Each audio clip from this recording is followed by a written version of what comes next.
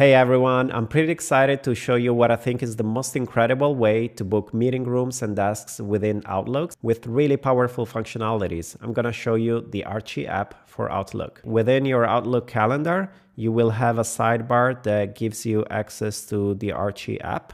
So if you select a, a room or a desk, it would be automatically added to your um, Outlook event and you will have tons of functionalities in here. So not only you will have different resources, room, desks, offices, but you can also have a visual floor plan of your office and select resources that way. And this uh, visual floor plan also gives you insights on who is at the office uh, at a certain time, which is maybe more relevant for desk booking than for meeting room bookings. And of course, you have powerful filters. So you can select rooms by uh, not just availability, but by capacity, amenities, equipment, and of course, location or floor within the building. What makes this quite incredible is the fact that you have full visibility into your office layout, your employees' schedule. Everything is embedded into Outlook. And of course, this also works with other Microsoft products. So you could have a setup where you also allow reservations from Microsoft Teams.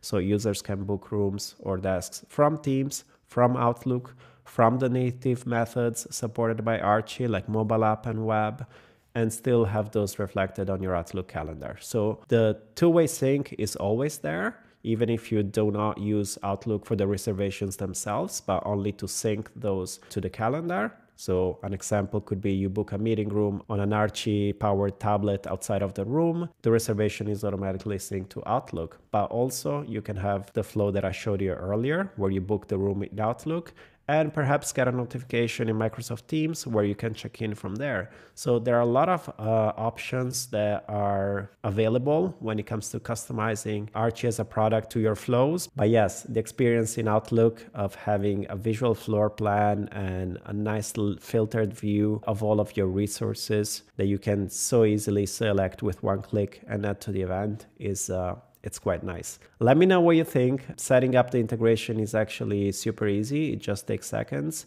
And uh, yeah, I hope you found this useful and I'm hoping to see you in, uh, in our next video.